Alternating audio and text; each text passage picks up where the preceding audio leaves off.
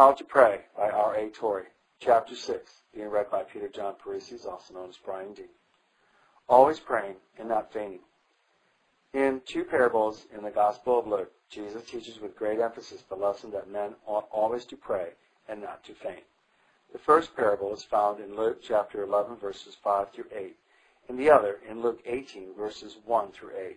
Quote, And he said unto them, Which of you shall have a friend, and shall go unto him at midnight and say to him, Friend, lend me three loaves, for a friend of mine in his journey is come to me, and I have nothing to set before him. And he from within shall answer and say, Trouble me not, the door is now shut, and my children are with me in bed. I cannot rise and give thee. I say unto you, though he will not rise and give him, because he is his friend, yet because of his importunity he will rise and give him as many as he needeth. Unquote. Luke chapter 11, verses 5 through 8. Quote, And he spoke a parable unto them to this end, that men always ought to pray, and not to faint, saying, There was in a city a judge, which feareth not God, neither regardeth man. And there was a widow in that city, and she came to him, saying, Avenge me of mine adversary. And he would not for a while, but afterwards he said within himself, Though I fear not God, nor regard man, but because this widow troubleth me, I will avenge her, lest by her continual coming she weary me. And the Lord said, Hear what the unjust judge saith. And shall not God avenge his own elect, which cry day and night unto him, though he bear long with them? I tell you that he will avenge them speedily. Nevertheless, when the Son of Man cometh, shall he find faith on the earth? Unquote. Luke 18, verses 1 through 8. In the former of these two parables, Jesus sets forth the necessity of importunate in prayer in a startling way. The word rendered, quote, importunity, unquote, means literally, quote, shamelessness, unquote, as if Jesus would have us understand that God would have us draw nigh to him with the determination to obtain the things we seek that will not be put to shame by any seeming refusal or delay on God's part. God delights in the holy boldness that will not take no for an answer. It is an expression of great faith, and nothing pleases God more than faith. Jesus seemed to put the Syrophoenician woman away almost with rudeness, but she would not be put away, and Jesus looked upon her shameless importunity with pleasure, and said, quote, O woman, great is thy faith. Be it unto thee even as thou wilt. Unquote. Matthew 15, verse 28. God, God does not always let us get things at our first effort. He would train us and make us strong men by compelling us to work hard for the best things.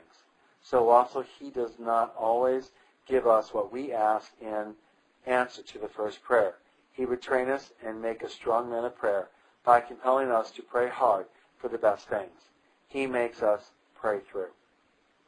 I am glad that this is so.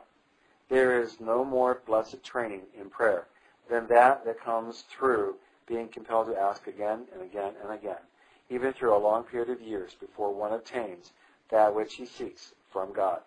Many people call it submission to the will of God when God does not grant them their request at the first or second asking.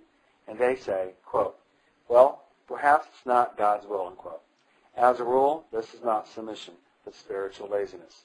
We do not call it submission to the will of God when we give up after one or two efforts to obtain things by action. We call it lack of strength of character.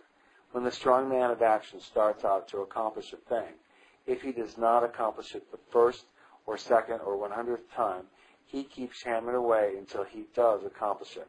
And the strong man of prayer, when he starts to pray for a thing, keeps on praying until he prays it through and obtains what he seeks.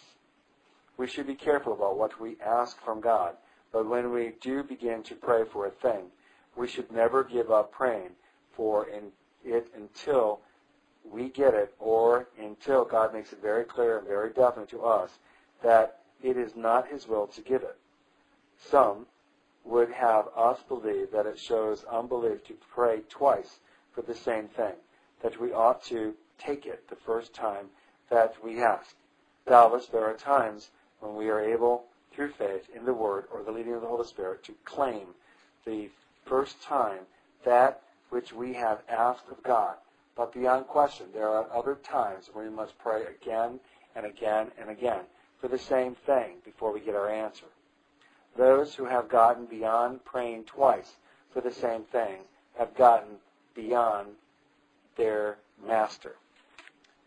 Matthew 26, verse 44. George Mueller prayed for two men daily for upwards of 60 years.